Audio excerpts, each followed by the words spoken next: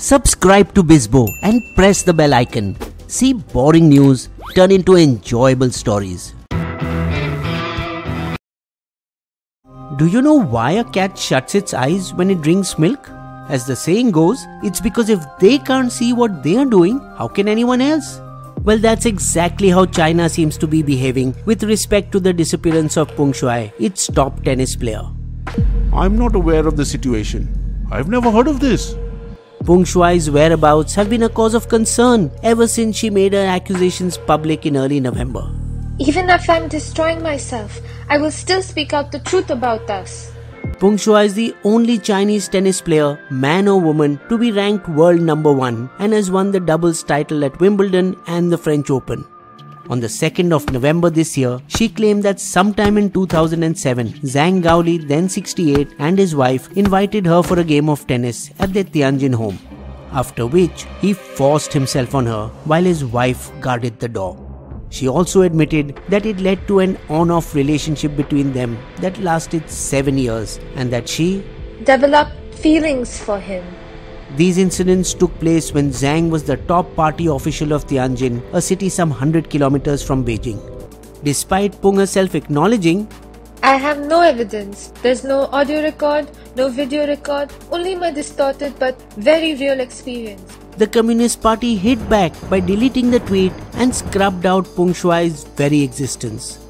A search for Peng Shuai on Baidu, China's Google, or Tencent's Sogou search engine, which once showed more than 7 million results, now had only 700. All because she stained the country's image by revealing the shameful acts of Zhang Gaoli, a former vice premier and one of the seven members of CPC's Politburo Standing Committee, the highest decision making body under President Xi Jinping.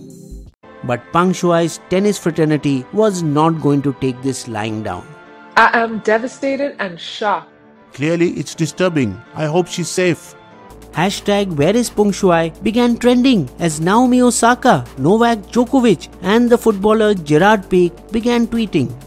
The Women's Tennis Association WTA, the organizing body of the women's tour, stepped in. I have repeatedly tried to reach her via numerous forms of communication, to no avail as did the United Nations. We want an investigation into her allegation of sexual assault. And the White House. We want China to provide independent, verifiable proof of her whereabouts. Conspicuous by its absence of criticism was the International Olympic Committee, who commented via email. Experience shows that quiet diplomacy is best to find the solution. Despite the fact that Peng Shuai participated in three Olympics, Beijing, London, and Rio, and won gold for China at the 2010 Asian Games. The Switzerland based IOC is in a quandary as the Winter Olympics start on February 4, 2022, with the host being none other than China. Already a target for boycott from multiple human rights organizations, largely over the Uyghurs issue, the Games face a possible diplomatic boycott by the United States and other countries. However, fully boycotting the Winter Olympics is not the answer. Thousands of athletes train for four years, all for a shot at an Olympic medal. India would never have got its Abhinav Bindra or Neeraj Chopra had Olympics been boycotted for some reason. Kashmiri alpine skier Arif Mohammad Khan is also the only Indian to have qualified so far for the 2022 Winter Olympics. Further, the IOC will be unwilling to take a hard stand and risk billions of dollars in television broadcasting rights and sponsorships. Nor is a full boycott likely to happen, according to IOC's longest serving member. If Peng Shuai's issue is not resolved, it may spin out of control. Whether that escalates to a boycott, I doubt it. Neither will America's basketball league, the NBA, take a hard stand after they lost an estimated $400 million in broadcast rights when China blacked it out after the Houston Rockets tweeted in support of protesters in Hong Kong. But the tennis bodies, WTA and ITF, International Tennis Federation, can and are pressuring China. While we have not spoken to the player, we are in touch with the National Tennis Association in China.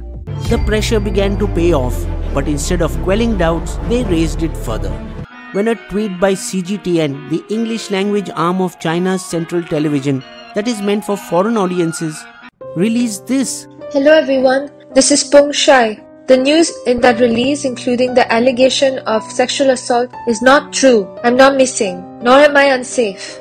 Her initial accusation had read Even if it's just striking a stone with a pebble, or a moth attacking a flame and quoting its self destruction, I will tell the truth about you. So the tennis world was stunned with the reversal. I have a hard time believing that a person who exhibited such courage has changed completely. China tried to improve, this time to Hu Xijin, editor of the state controlled newspaper Global Times, who tweeted a few videos. One at a Beijing tennis tournament on Sunday 21st November shows Peng at the National Tennis Center. Another showed Peng signing autographs for children at the same event. And yet another showing Peng sitting maskless at a dinner table chatting with her coach and others about tennis matches. Bizarrely, she and a guest mentioned the date five times in the short clip. Tomorrow is November 20th. It is the 21st. That's more the sort of thing you would expect from a proof of life video, not from friends on a night out. While the chat seems to be staged, Peng appears relaxed in the footage. The man sitting next to her could be Zhang Junhui, an executive with the China Open tennis tournament, who is also seen with Peng at the kids' tennis event in Beijing, standing right next to her. A minder? While WTA boss Steve Simon was glad to see the images, he remained skeptical. The video alone is insufficient, and it is not clear if she is free and able to make her own decisions without external interference. And threatened to end lucrative high end tournaments allocated to China, including the WTA finals that are scheduled to be held there through 2030. With pressure still on, China arranged a 30 minute video call with IOC President Thomas Bach that did nothing to assuage fears. I'm safe and well. I'm living at my home in Beijing. I would like to have my privacy respected at this time.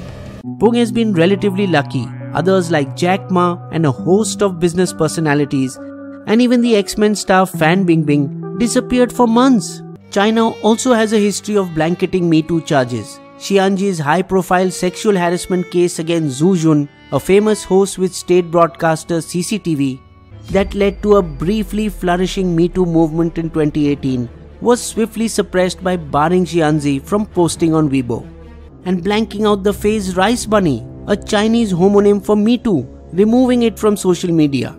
However, then, as now, social media users have found creative workarounds to get their voices heard.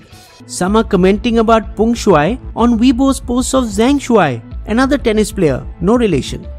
FreeWeibo.com, which keeps a record of censored posts from Weibo, said searches for Peng Shuai and Zhang Gaoli were both among the top 10 search topics in China.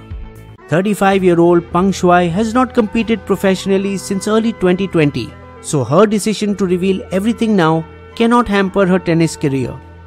History has shown that international pressure works. South Africa was forced to change their stand against apartheid in part because of a sports boycott. Can sports be the one that does it again with China? Bisbo's Limerick. Everyone's worried about Peng Shuai. They are questioning China and asking why. So let the pressure remain till her freedom attain. From the clutches of authoritarianism, it's her we must pry.